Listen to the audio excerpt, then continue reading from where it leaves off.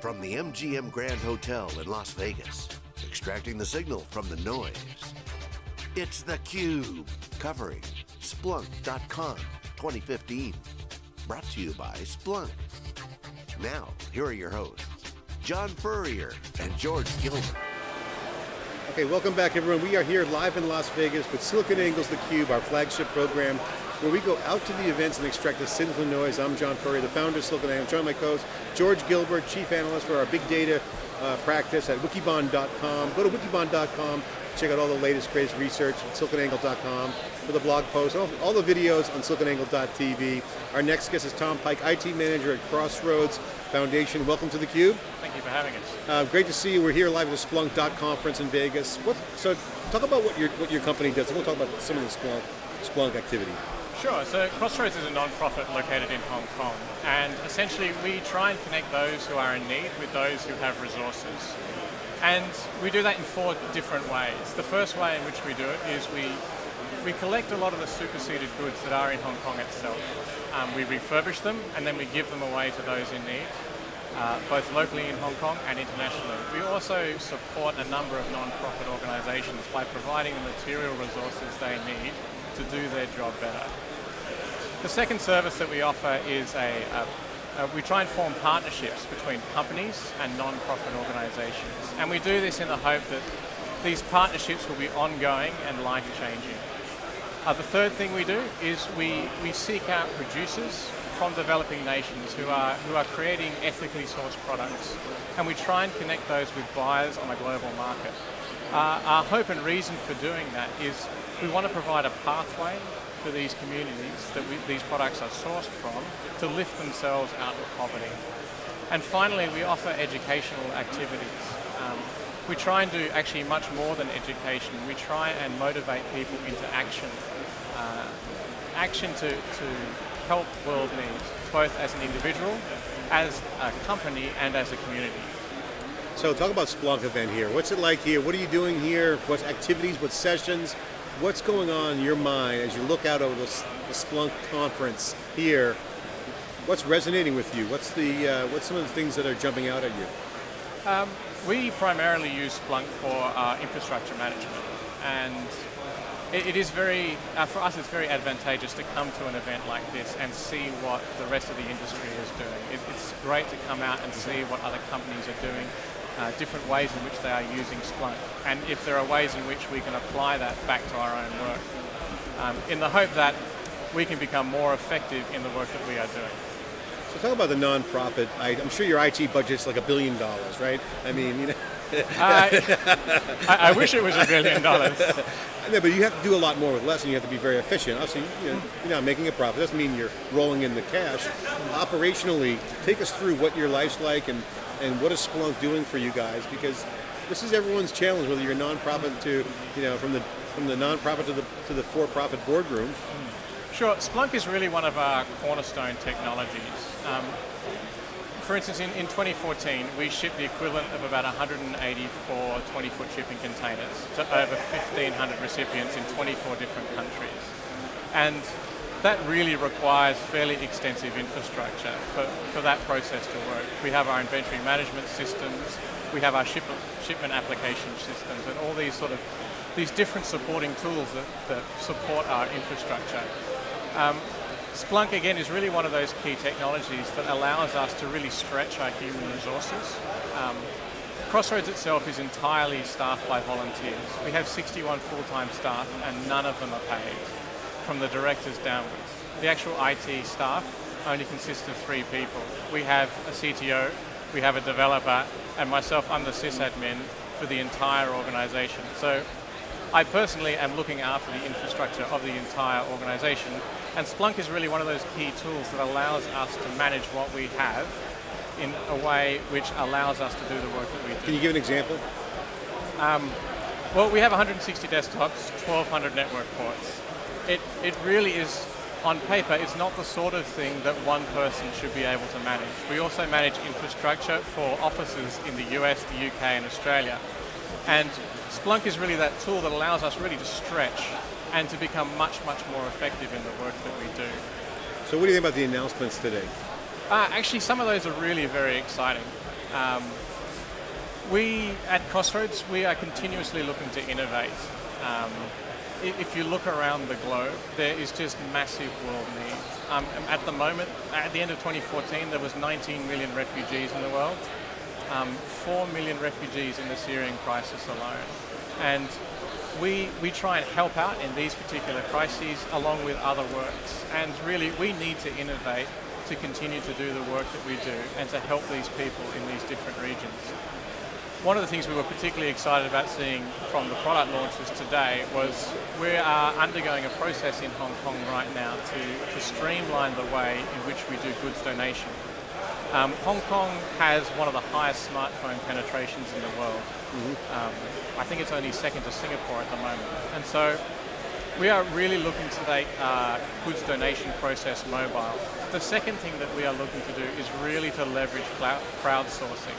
We have, uh, in a given year, we have between six to 7,000 community volunteers come and help us do the work that we do. And we want to be able to offer them um, opportunities to help whilst they're not physically on our site. And so what this means is we are we are asking some of those volunteers who have been trained to help us in this goods donation process through their mobile device. This means that we are really radically, we are seeing a radical change in uh, our device profile. We are going from devices that we fully manage and fully own to ones, you know, we are going BYOD.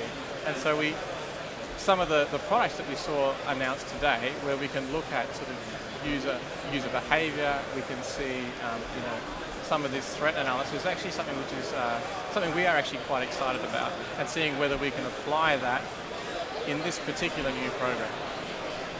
So what do you think about the big data and machine learning aspects of operational data? Do you see that impacting you? Um, we see some aspects of that. Um, we realize that the amount of data that we collect on a particular day is probably small when compared to most organizations out there. We index about 11 to 15 gigabytes a day. Um, we have, however, been able to use some of the data that we have collected in the past for you know, business intelligence. Um, like an example of this was uh, many years ago before we had implemented a CRM with inside our organization. We were, as I mentioned, we, we have a partnership uh, service where we try and match corporates and non-profits. And we really see the benefit of reaching out to corporate organizations to help us help others in need and to help other non-profits help others in need.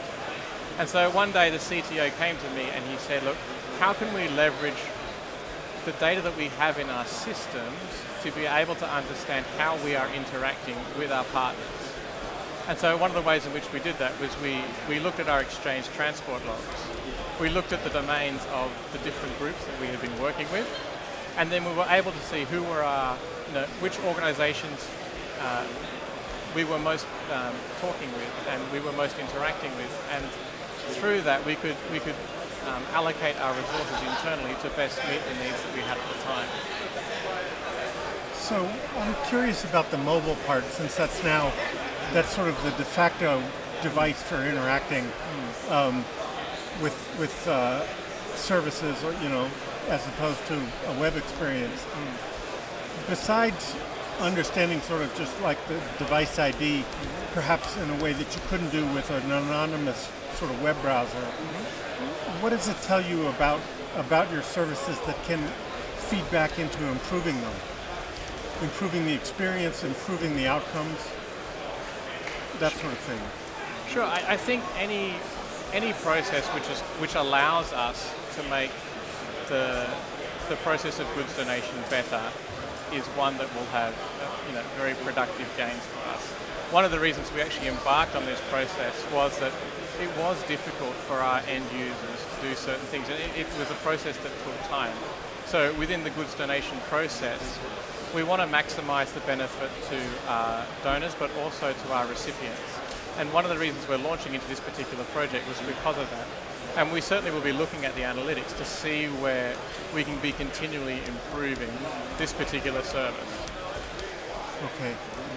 And so um, on the back end, are you, I mean, you, you said you're in the sort of tens of gigabytes per day, um, but no matter what the amount is, are, are you resource, you know, anyone could be resource constrained. Do you find this helps you either use your resources more efficiently, or does it help you pinpoint um, service problems more quickly so that they're more preventable instead of fixable? I, I think you've actually hit uh, two points on the head that we, we really use Splunk for. I mean, as I mentioned, we we are very grateful to the people of Hong Kong for the many hundreds of thousands of hours of volunteerism that they give us.